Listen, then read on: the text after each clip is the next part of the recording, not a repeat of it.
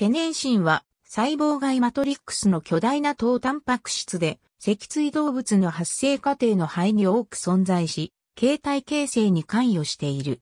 組織修復、癌に関係している。1984年、米国の HP エリックソンと JL イングレシアスが細胞性フィブロネクチン標品を電子顕微鏡で観察し、フィブロネクチンとは別の6本の腕を持つ巨大な分子を発見したのが最初である。6本の上腕のようなにちなんでヘキサブラキオンと命名した。1984年、スイスのマティアス CK は、鶏の筋肉と腱の発達過程を研究し、モノクローナル抗体で筋肉や腱の発達時に見られる新しい分子として、筋腱抗原を発見した。1985年、CK は細胞性フィブロネクチンの研究をしていたスイス連邦工科大学出身の女性科学者、ルース・エーリスマンと結婚した。エーリスマンはルース C.K. エーリスマンと改名した。1986年、ルース C.K. エーリスマンはヘキサブラキオンに赤血球凝集素活性があることを見出し、タンパク質にふさわしい新しい名称を考えた。ヘキサブラキオンは物質として夫が発見した筋腱抗原と同一であることから、腱に関連したタンパク質ということで、テネーシンと命名した。2013年現在の知見で振り返ると、最初にテネーシンの存在が示唆されたのは、1975年のケネス・ヤマダの細胞性フィブロネクチンの論文である。ヤマダは後にフィブロネクチンと命名されるタンパク質をその論文で発見したが、論文の表題にある赤血球凝集素活性をフィブロネクチンは持っていないことが後に判明した。この活性はその表品の不純物として混入していたテネーシンのためだったことを後に CEKA リスマンが証明した。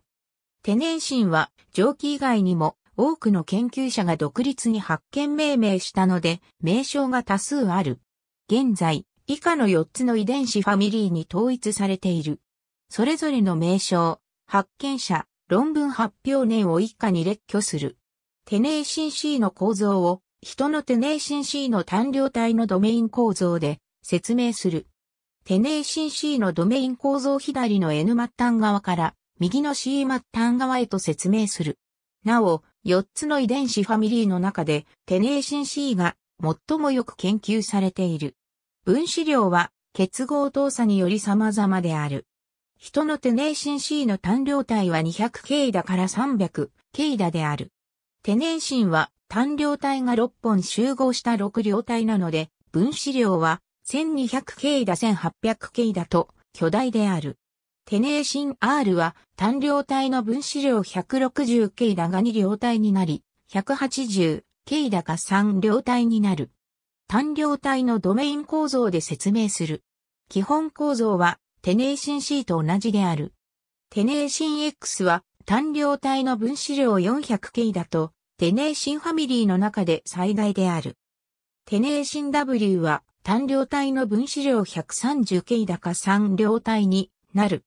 テネーシン C の培養細胞への作用は多様な結合分子から推察できるようにかなり複雑である。初期にテネーシンは細胞接着の阻害作用があるとされ、阻害作用の仕組みはテネーシンが細胞接着分子であるフィブロネクチンに結合することで、フィブロネクチンのシンデカンへの結合を阻害するためだと理解されたが、フィブロネクチンが活性化する接着キナーゼや老中界の細胞内、情報伝達を阻害しているという報告もある。テネーシン C は、肺発生過程で神経、筋、血管系に出現するが、生体になると、通常は、腱関係の組織以外には検出されない。ただ、生体でも、癌の組織構築や炎症部位の組織修復で、急速に発現する。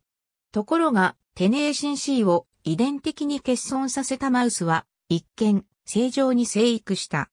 テネーシン R は中枢神経系にのみ発現する。発生過程でテネーシンシーと共存する時期もあるが、テネーシンシーより遅めに発現するテネーシン R を遺伝的に欠損させたマウスも、一見、正常に生育した。テネーシン C は、喘息、繊維症、神経再生、感染、癌に関係していると言われている。人のテネーシン X 遺伝子の異常は、エーラスダンロス症候群を引き起こす。ありがとうございます。